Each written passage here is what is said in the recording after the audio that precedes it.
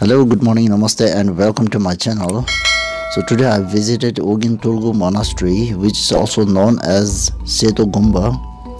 The Urgyen spent 33 years at Nagi Gumba Hermitage, where he spent two decades in retreat and eventually established six monasteries and retreat center in Nepal. Among them, one of this monastery is located at nearby Bodhnath where I visited today.